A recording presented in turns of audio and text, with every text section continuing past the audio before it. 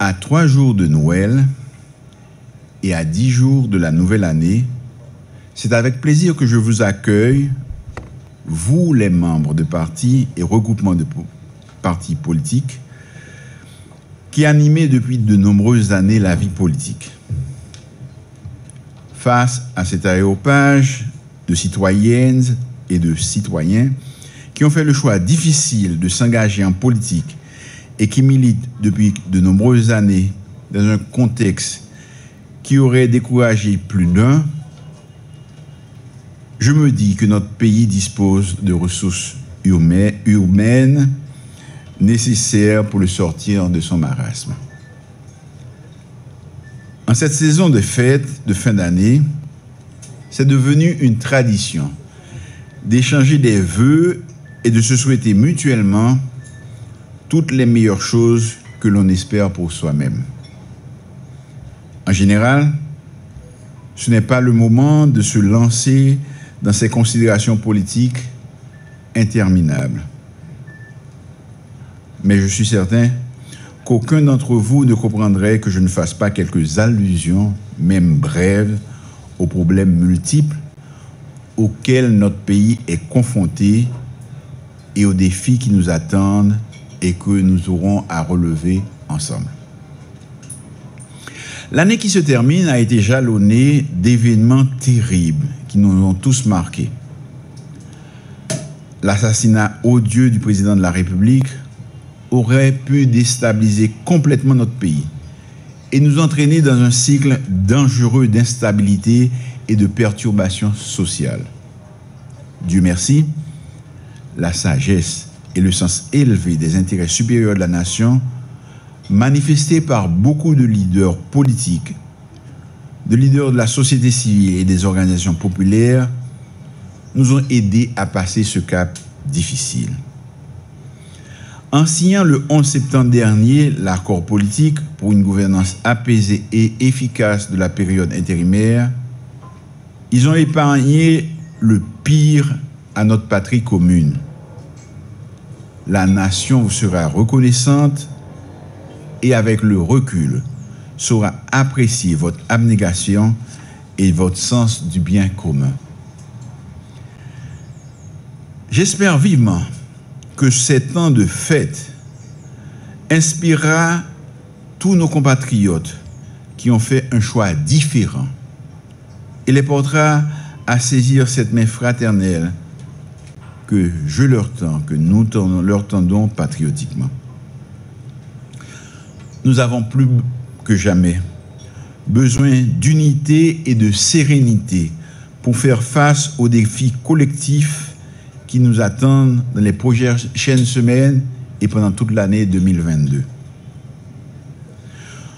Nombreux sont nos compatriotes qui ne verront pas la nouvelle année parce qu'ils sont morts d'atroces souffrances dans la récente tragédie survenue au Cap Haïtien, ou ont péri dans le séisme du 14 août. Ils sont nombreux encore à être cloués et à souffrir sur un lit d'hôpital.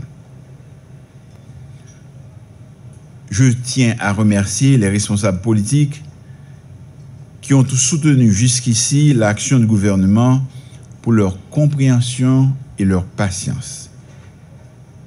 Ils ont compris la difficulté de la tâche et ne me tiennent pas rigueur du fait que je ne suis pas toujours disponible pour les recevoir aussi souvent que nécessaire ou pour répondre à leurs appels téléphoniques. Vous savez tous que je suis un homme de dialogue, un homme qui croit que c'est la meilleure méthode pour gérer les conflits pour construire des consensus suffisants. C'est la méthode que j'ai utilisée pour faire comprendre aux uns et aux autres la nécessité de revenir progressivement à la vérité des prix sur le carburant. Les finances publiques ne pouvaient plus supporter cette saignée. Nous devons arriver à faire jouer le mécanisme légal de fluctuation des prix à la pompe selon les cours réels des produits sur le marché international. Les recettes fiscales doivent impérativement augmenter et de façon substantielle si nous voulons être en mesure de répondre aux justes revendications de la population qui attend de nous des services de base sur toute l'étendue du territoire. Pour atteindre cet objectif, chacun doit faire sa part dans la mesure de ses moyens. Nous pouvons y arriver sans augmenter les taxes, mais en nous assurant que tous ceux qui sont assujettis à l'impôt s'acquittent de ce devoir civique qui est de les payer. En nous assurant aussi que nous luttons efficacement contre la contrebande. L'année 2022 sera essentielle pour un retour normal au fonctionnement de nos institutions démocratiques. La direction du pays devra revenir entre les mains de personnes élues, choisies par le peuple haïtien dans le cadre d'élections libres, honnêtes et inclusives. Le gouvernement a l'obligation de créer un environnement propice pour l'organisation des consultations populaires. Il va de soi que la question de la sécurité sera et doit être adressée. Les candidats et les membres de vos partis respectifs doivent pouvoir faire campagne dans tous les coins du pays sans avoir à craindre pour leur vie. C'est un souci constant pour le gouvernement et nous rechercherons recherchons les moyens adéquats pour mieux équiper et mieux former la PNH et les forces armées d'Haïti, de manière à mettre ces deux institutions en situation d'accomplir leur mission. Nous ne demandons pas aux pays d'amis de venir faire le boulot à notre place. Nous sollicitons de leur part un accompagnement pour la PNH qui doit être en mesure d'assurer dans la durée, sans avoir à compter en permanence sur l'aide externe. Je compte sur vous tous pour mobiliser le peuple haïtien sur la nécessité d'aller voter pour choisir leurs dirigeants. Le taux de participation aux élections est une question fondamentale pour garantir une légitimité certaine aux futurs élus. Il est de notre devoir de garantir à tous que les élections seront impartiales et que la victoire reviendra à celles et à ceux que le peuple aura librement choisis.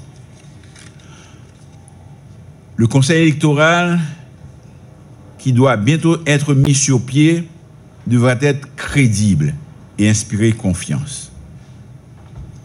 Il y a beaucoup d'autres sujets sur lesquels j'aimerais vous entretenir en tant que dirigeant de parti politique, mais je ne veux pas vous assommer en ces circonstances avec mes préoccupations.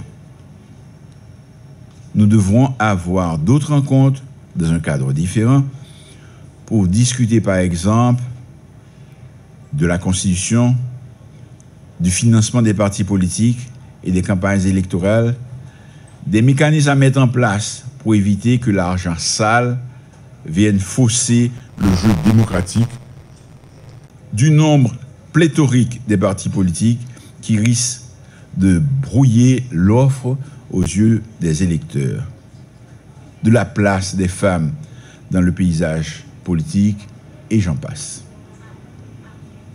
Mesdames, Messieurs, j'ai pris l'habitude de terminer mes interventions publiques en attirant l'attention de tous et de chacun sur le fait que la COVID-19 est toujours présente dans notre pays et ce virus continue de tuer.